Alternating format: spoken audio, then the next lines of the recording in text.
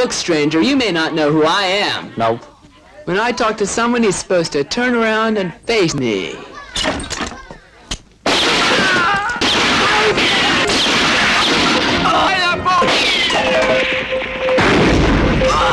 Oh shit!